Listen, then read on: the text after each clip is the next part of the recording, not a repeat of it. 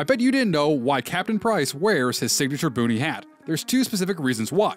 First off, the SAS only allows a few types of head covering while in military service. You can either wear a helmet, a boonie hat, or your official dress uniform hat, with the exception of occasionally a baseball hat. However, the second reason is more important. Most of the close quarters combat situations we see Captain Price in, he actually wears a helmet or body armor. This is because he wants to minimize the chance of him getting shot and killed from a random ambush spot. However, when he's out in the field and he has to move between objectives, he wants to stay light on his feet and minimize the amount of weight he's carrying, but still have some type of head covering protect from sun and elements, especially considering he's got a receding hairline. And Captain Price always wants to minimize his weight so he can remain effective in combat. And that's why Captain Price wears his signature boonie hat. Subscribe down below for more, and until next time, I am IceBurgZ your Call of Duty informant. Stay frosty.